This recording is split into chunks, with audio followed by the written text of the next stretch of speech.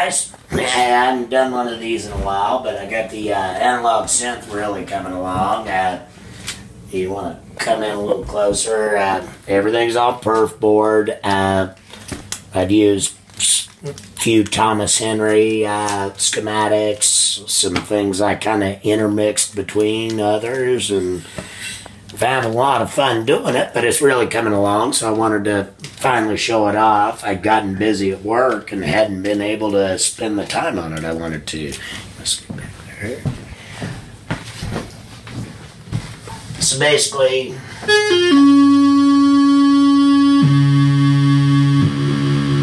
I've got uh, my analog keyboard's working. I do have a problem still. I uh, my low tones I'm fine, but when I reach the high tones, I get a fall off on release on my sample and hold. I'm getting close, but I got to do a little tweaking on it. Right now we're running we're basically just running a basic square wave with an LFO into the pulse width modulation.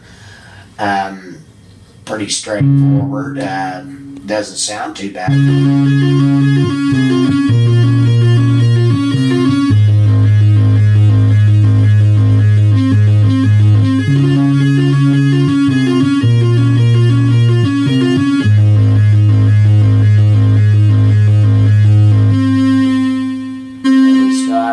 Fall off on the end. Um, I showed in the last video. Now I've also built uh, a little bit of drum sound. Uh, I only have the one plugged in. It's supposed to be a bass drum. Sounds a little more like a conga drum or something. But uh, I really only put that in to practice with, so I'm using it more as a metronome. Um, have an extra VCO down here I'm not using. Have uh, extra envelope generator and extra uh, VCA. Um, still have my bass pedals and my uh, top octave synth over here, which is a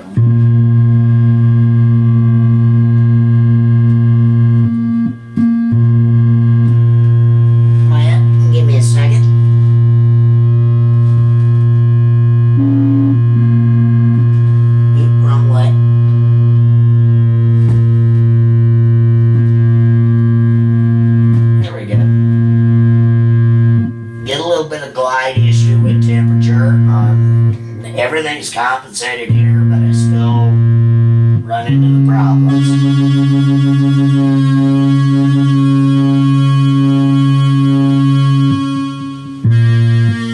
So basically, they all fit really nice. The uh, the the top octave over here with the square wave buffered out really fits nice with the bass, so we get a nice.